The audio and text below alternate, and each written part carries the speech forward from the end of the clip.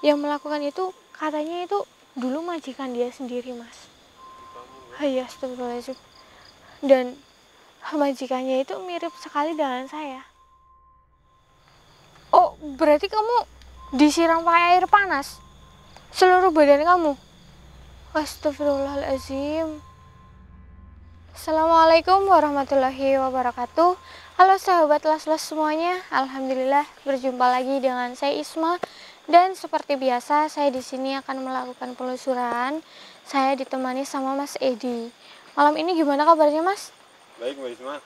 Alhamdulillah Mbak Isma gimana?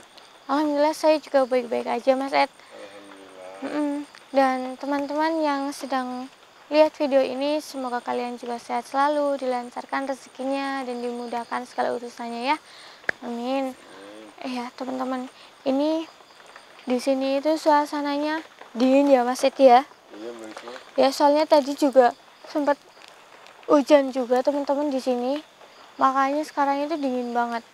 Tadi aja kita sempat break sebentar ya Mas Ed Iya Mbak. buat neduh dulu supaya agak reda. Ini aja masih sedikit gerimis tapi berhubung semakin malam jadi terabas aja ya Mas Ed ya. Iya Mbak. Iya teman-teman karena di tempat ini itu banyak warga yang bilang ke saya kalau mereka itu sering mendapat gangguan teman-teman. Dan ini kita ini ya Mas banyak sekali pohon pisang. Tapi nanti kita itu arahnya masuk ke sana Ke dalam sana Mbak. Iya, masuk ke dalam. Katanya di dalam itu lebih lebih serem Mas Ed. Dan warga itu lebih sering digangguin di sebelah sana. Entah itu dari suara ataupun dari kayak eh, ada yang pernah di ini loh Mas. Diapain Mbak? Apa ini namanya ya? Di cekik Mbak. Eh iya betul. Di Cekik. Itu pernah juga di sana. Dan ada ada juga orang yang pernah ini loh. eh, sempat nggak pulang satu hari di situ. Tapi orang itu ngerasanya baru beberapa jam dia pergi. Dan itu udah seharian full dia nggak pulang sampai dicariin tapi nggak ketemu. Tapi alhamdulillahnya orang itu tuh bisa pulang sendiri teman-teman. Cuma dia bilang baru sekitar paling 1 sampai 2 jam. Padahal itu satu hari. Oh bisa ya Mbak? Iya aneh banget kan mas itu kalau kayak gitu biasanya itu dapat gangguan dari sosok-sosok yang berada di sana itu makanya nanti kita harus hati-hati mas Ed Iya Isma. Mm. dan mas Ed kalau ada apa-apa bilang soalnya ini juga kita belum pernah masuk ke dalam kita harus hati-hati. Dan teman-teman ini sebelum saya sama Mas Edi melakukan penelusuran untuk ke dalam saya mohon doanya semoga saya dan Mas Edi nggak kenapa-kenapa dan kita bisa pulang dan selamat ya Mas Edi ya. Amin. ya dan teman-teman saya mohon doakan kalian juga supaya jangan skip iklan nanti supaya kita lebih bersemangat. Dan buat teman-teman juga bisa ikut gabung ya Mas biar kalian tahu video-video yang nggak semua orang bisa lihat dari kami. Ayo Mas Ed. Bismillahirrahmanirrahim. Ayo teman-teman. Astagfirullahaladzim. Mas Ed. Iya Mbak Isma. coba sebelah sana sendiri mas. Cahayanya ke sana coba. Astagfirullahaladzim. Mas itu ada sesuatu di sana loh mas. Ada sesuatu Mbak. iya Itu nggak ada apa-apa sih Mbak. Itu di di pojok sana teman-teman. Itu saya ngeliat eh aneh banget mas bentuknya teman-teman. Bentuknya aneh banget. Emang Mbak Isma lihat apa Mbak? dia berdiri mas. Cuma kalau saya lihat enggak bukan bukan kayak menyerupai kita loh mas. Makanya aneh banget mas. Dan ada di atas itu kayak ada tingginya semas Edian lah seginian. Di atas itu kayak ada hmm, kayak mahkota gitu. Ada mahkotanya Mbak. iya kayak mahkota. Tapi dia itu diem aja di sana. Tapi muka dan badannya itu aneh banget mas. Nggak kayak membentuk kita kayak gini enggak mas. Aneh banget saya aja nggak bisa jelasin. Tapi kita biarin aja ya mas Ed ya. Tapi nggak mau kita kan Mbak? enggak mas. Dia cuma liatin kita aja mas. Cuma liatin. Iya kalau saya bisa wujudkan dia saya wujudkan mas cuma dia itu kayaknya menolak mas Astagfirullahaladzim. Dia pergi, Mas? Pergi mbak. Iya, Mas Ed. Yaudah, Mas, kita lanjut aja, Mas. Yang penting eh, sosok itu nggak gangguin kita. Kita juga di sini kan nggak mengganggu dia. Jadi kita biarin aja, Mas Ed. Iya. Kenapa, Mas? Aman? Mbak. Hati-hati makanya, Mas. Ini biasanya pohon-pohon kayak gini ada ularnya ya, Mas ya. Di atas. Kayaknya kita hati-hati, Mas. Mas, Mas. Nah ini aku kok kayak dengar suara ini ya, Mas. Kayak ada yang teriak gitu, Mas. Tapi ada yang nangis juga, Mas Ed. Bismillahirrahmanirrahim. Kita ke bawah, Mas. Sini, Mas Ed. Teman-teman. Astagfirullahaladzim. Ya Allah, Mas. Ini pohonnya gede banget, Mas. Astagfirullahaladzim. Ini hati-hati, Mas. Takutnya di, di belakang itu ada sosok di belakang sini, Mas. Ya Allah. Mas, ini di dalam kayak buat rumah rumah goib buat sosok-sosok banyak banget di dalam mas Di dalam pohon ini mbak. iya mas kita jangan sampai menyentuh pohon ini ataupun kayak dikencingin pohonnya ya mas. Soalnya baik, nanti kita bisa diselong di tempat ini mas. Soalnya bahaya banget. Soalnya nggak cuma satu dua yang ada di situ sosoknya tapi banyak banget mas. Astagfirullahaladzim. Jangan disentuh ya mas Ed ya. Mbak. awas kalau tiba-tiba nyentuh loh. Mas! Ini ada ibu-ibu apa mas? Depan mas? Itu? Bu? Oh. Bu. Ibu. Bu. Ayo mas Ed. Bu. Kok nggak jawab ya mas Ed ya? Jangan-jangan ibu-ibu ini kayak yang aku ceritain tadi mas.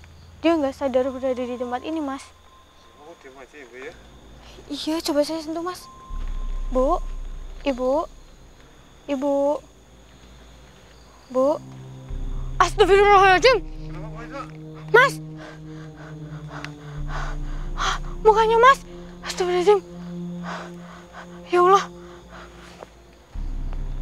La haula wala quwata illa billah. Ah. Lepas. Lepasin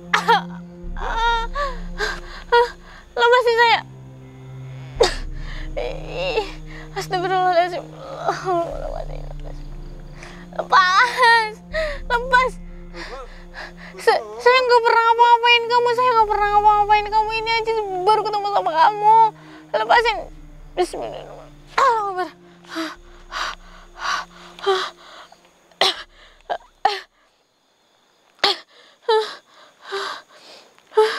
ya Allah.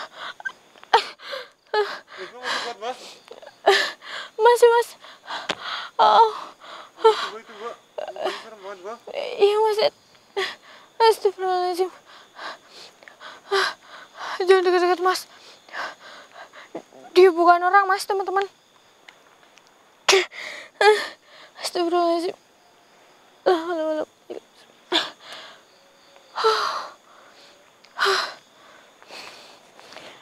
Kamu tadi bilang aku yang udah membuat kamu meninggal kayak gini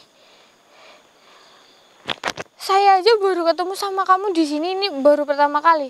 Saya pikir kamu itu orang yang tersesat di sini loh. Kamu sebenarnya siapa? Dan siapa orang yang kamu maksud itu? Emang dia mirip sama saya? Astagfirullahaladzim. Hah? Enggak. Tapi kamu harus tenang. Kamu ceritain semuanya yang terjadi sama aku. Dan saya bukan orang yang kamu maksud. Lihat. Lihat lebih lihat lagi. Saya bukan orang yang kamu maksud. Kalau sama kamu ngapa-ngapain saya lagi, aku bisa hancurin kamu sekarang juga loh. Astagfirullahaladzim, Mas. Ini eh bolehnya sampai banyak yang mengelupas ya, Mas ya. Dan di mukanya juga teman-teman. Astagfirullahaladzim. Dia itu sebenarnya putih banget, Mas. Orangnya itu putih banget.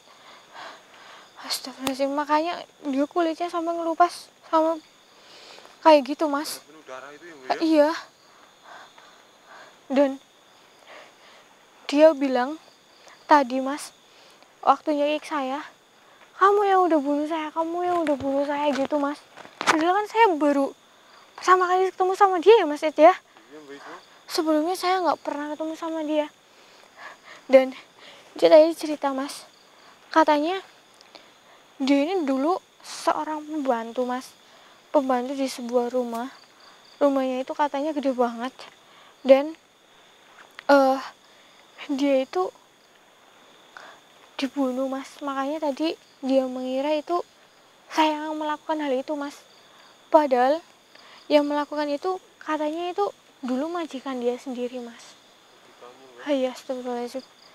Dan majikannya itu mirip sekali dengan saya. Mirip sama mbak Isma iya makanya dia itu tadi ngira kalau saya yang melakukan. Padahal saya nggak pernah punya pembantu ataupun enggak ada. Apalagi ini saya baru pertama kalinya ketemu kamu belum cerita semuanya? Memang eh, majikan kamu itu ngelakuin hal apa sama kamu? Oh berarti kamu disiram pakai air panas? Seluruh badan kamu? Astagfirullahaladzim. Mas Teman-teman Dia ternyata itu Sama majikannya disiram Atau kamu melakukan sebuah kesalahan Enggak Astagfirullahaladzim Berarti kamu saat tiba-tiba itu Langsung disiram aja pakai air panas Seluruh badan kamu Terus kenapa kamu masih berada di sini? Hah? Serius? Astagfirullahaladzim, Mas. Teman-teman, berarti kamu gak dimakamin secara layak. Justru kamu dibuang. Astagfirullahaladzim. buang di tempat ini mbak apa di mana mbak Iya, Mas, tapi ini kejadian udah lama banget. Udah lama banget, Mas. Sebelum eh ini tuh di di kayak ada yang nanamin kayak gini itu sebelum hal itu ada. Jadi dia itu di sini udah lama banget, Mas Ed, teman-teman. Makanya dia itu nggak ada yang menemukan. Dulu di sini di desa itu, Mas, itu masih jarang paling ada cuma satu dua rumah aja, Mas. Belum sebanyak yang tadi kita lihat, Mas. Udah lama banget kejadiannya. Dan eh dia sama majikannya itu waktu disiram, dia kesakitan, Mas.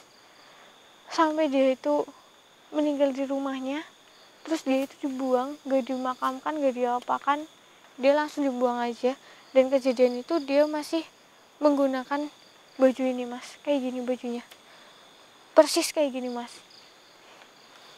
Makanya dia itu masih berada di tempat ini. Karena belum ada sama sekali yang mendoakan dia.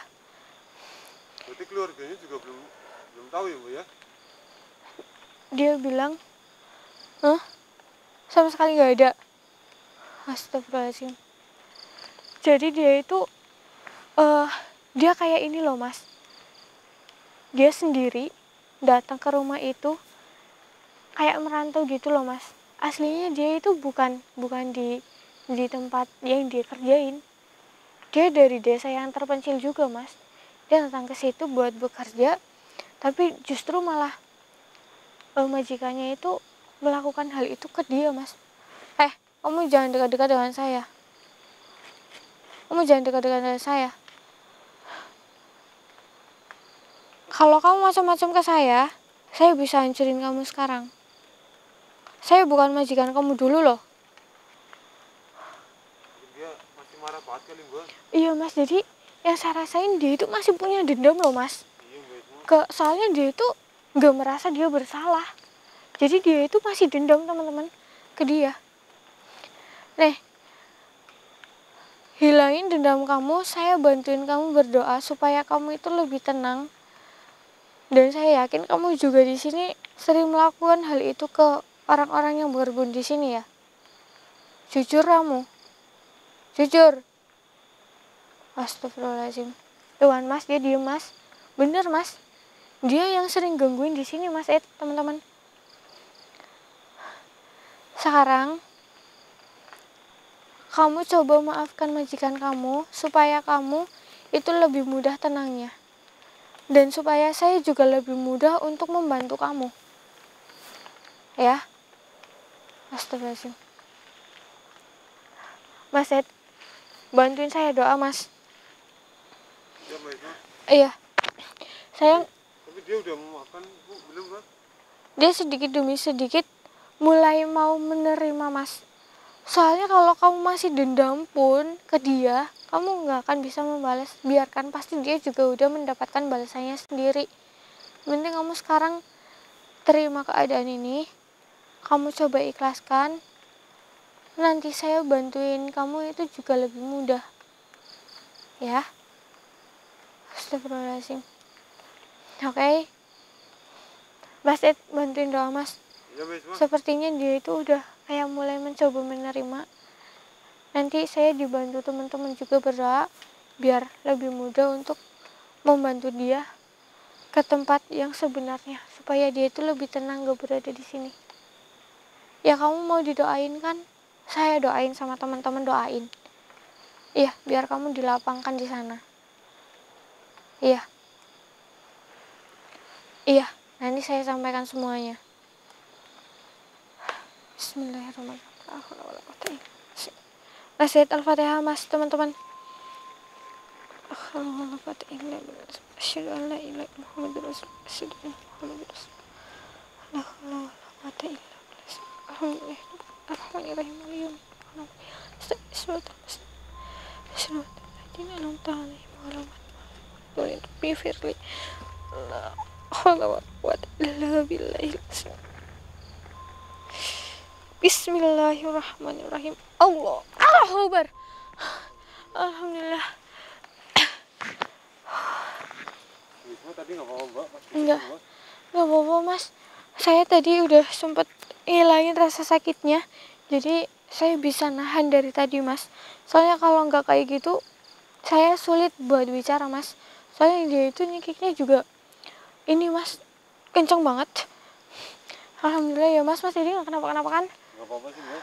Alhamdulillah dan ini buat teman-teman semuanya. Kalau kalian punya pembantu di rumah saya mohon perlakukan dia dengan baik. Kalau misal pembantu kalian itu melakukan sebuah kesalahan bilangin dia. Jangan sampai kalian melakukan hal yang bisa membahayakan pembantu anda. Oke teman-teman itu pesan saya malam ini. Dan ini saya sama Mas Edi. Eh kita harus pamit dulu. Mungkin lain waktu kita datang ke sini mas Ed. Soalnya di dalam kayaknya masih ada banyak sesuatu mas. Tapi kalau kita mendapatkan Astagfirullahaladzim. Dengar nggak mas? Ini kita harus cepat-cepat pergi dari sini mas. Kalau lanjut saya nggak mungkin mas. Soalnya energi saya juga udah mulai berkurang mas Ed. Teman-teman ini saya sama mas Ed pamit dulu. Dan apabila ada kesalahan mohon dimaafkan. Saya juga mengucapkan terima kasih buat kalian yang udah doain dan dukung kami Assalamualaikum warahmatullahi wabarakatuh. Ayo mas Ed. Mas itu ada yang liatin kita mas. Astagfirullahaladzim. Mbak. Mas Ed